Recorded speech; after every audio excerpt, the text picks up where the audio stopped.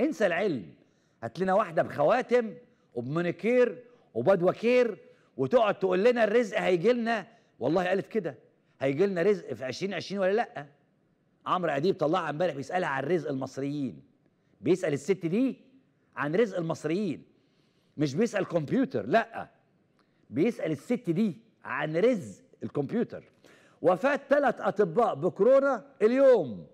والنقابة تعلن ارتفاع العدد ل 256 شهيد. وعمرو أديب جايب واحدة مبطرخة تتكلم على ناخده ولا ما ناخدوش. ست أديرة. ستة ترفض استقبال الرهبان والكهنة. لعنة كورونا. ست أديرة ترفض استقبال الرهبان والكهنة في المعموديات. وفاة ثلاث أشقاء لنائب برلماني بكورونا. وعمرو أديب طالع توفي ثلاث أشقاء لنائب إيتاي البارود محمد عبد السلام حجازي بعد أيام قليلة من فوزه في انتخابات البرلمان. وقالت مصادر أن ثلاث أشقاء للنائب محمد عبد السلام حجازي اتوفوا متأثرين بفيروس كورونا. وهم عبد العاطي وأشرف وكامل. وجاءت وفاتهم على التوالي خلال شهر. ربنا يرحمهم. الطبيب أسامة أرميا بيطالب السيسي بتعليق عاجل وفوري يا عمرو للجامعات والمدارس. لأن الأمور صارت مسألة حياة أو موت. اسمع. أنا أرميا بتشرف. لكن عايزين قرار فوري. قرار فوري بتعليق الدراسة للجامعات تحديدا والمدارس. أنا عارف إن نسبة الغياب في المدارس اترفعت بس في امتحانات ومش عارف إيه ولازم ننزل ولادنا. تمام؟ الحضانات يا جماعة اللي يقدر ما يوديش ابنه أو بنته الحضانة. ممنوع! ممنوع! الحضانة دلوقتي ممنوع. تمام؟ خلاص؟ اتصرفوا معلش دي مسألة حياة أو موت. ال- ال- الدراسة تقف وبقرار سيادي وأنا نشدت أكبر رأس في البلد. نشدت الرئيس نفسه. وقف الدراسة. وقف الدراسة من فضلك.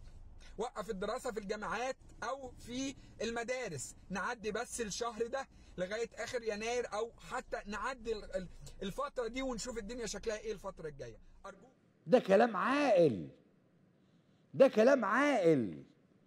إنما إعلام سامسونج هيفضل يكذب ويكذب ويدلس عليك ويقنعك دايما إن إحنا العدو. وللمرة الثامنة يا عمرو بتحداك يا كذاب إنك تطلع تقول الحقيقة يطلع يقول الحكومة كذبت يطلع يقول الحكومة كذبت في أرقام المصابين وبدلت في كلامها أكتر من مرة. من بداية الأزمة من سنة أتحدى عمرو أديب وهو على الهوا يقول فين الفلوس اللي جت على قفا كورونا والناس مش عارفة تخش تتعالج؟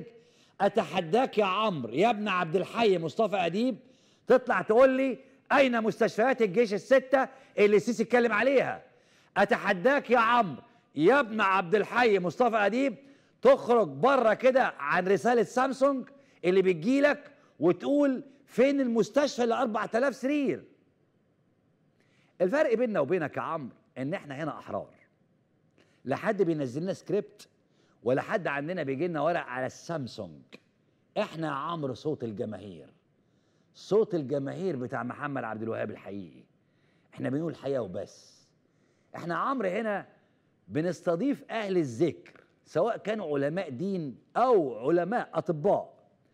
ما بنجيبش واحدة دجالة بتاعت ثلاث ورقات عشان نسألها عن رزق المصريين في 2020 ست انت جايبها ومتفق معاها على الأبيج جاية تتكلم عن رزق المصريين في 2020 إحنا يا عمرو هنا مش بنكيد لدولة إحنا بنتكلم بعلم وبنسأل المختصين. ومفيش حد مختص هنا فيهم بيفتح المندل أو بيقرأ الكوتشينة يا عمرو.